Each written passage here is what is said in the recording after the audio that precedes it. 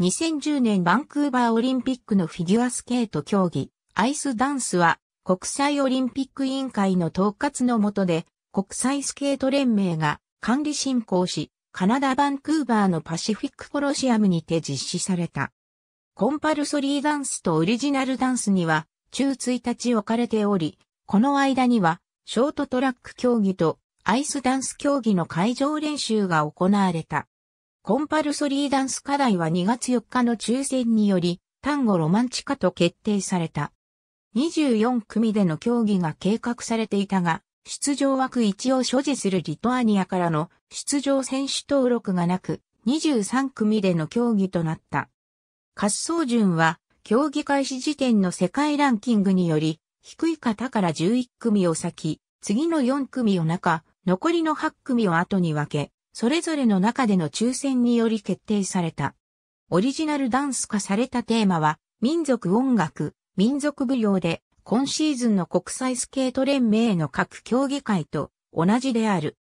滑走順は、コンパルソリーダンスの成績の低い方から低い方から13組を先、残りの10組を後に分け、それぞれの中では抽選により決定された。フリーダンス滑走順は、オリジナルダンス終了時での成績の低い方から4、または5組ずつに区切り、成績の低いグループから先に同じグループ内では抽選により決定された。Http コロンスラッシュスラッシュ www.isu.org スラッシュ vsite スラッシュ vcontent スラッシュ content スラッシュ